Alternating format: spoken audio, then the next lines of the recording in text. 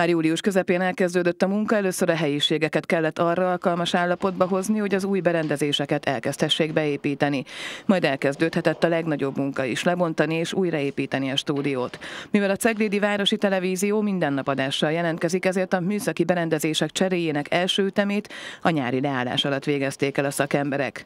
Az úgynevezett utasító helyiségbe több mint 20 éves eszközök helyére vadonatúj digitális keverőpult érkezett. Az elavult monitorrendszert is kiiktathattuk, hogy egy szellős és kényelmes, de legfőképpen műszakilag megfelelően működő eszközpark létesülhessen.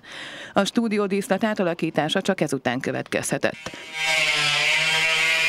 Egy televízió életében hosszú és alapos tervező munka kell ahhoz, hogy végül a nézők és a kamerák számára egyaránt megfelelő díszlet alakulhasson ki.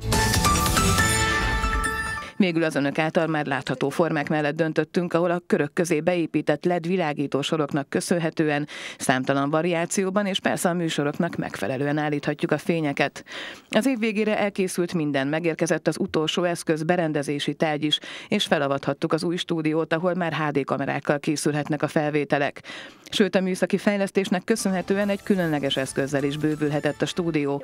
Az úgynevezett krán még izgalmasabbá, látványosabbá, mozgalmasabbá teszi a stúdió felvételeket. Mindezekkel párhuzamosan elindult YouTube csatornánk is, majd az év végén megújult weboldalunk is, ahol híradóanyagainkat videóformátumban is megtalálják, sőt teljes műsorokat is megnézhetnek.